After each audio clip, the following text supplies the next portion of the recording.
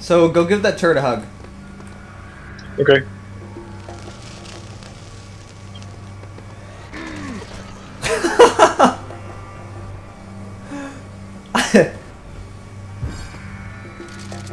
I don't think he quite feels the same way you do.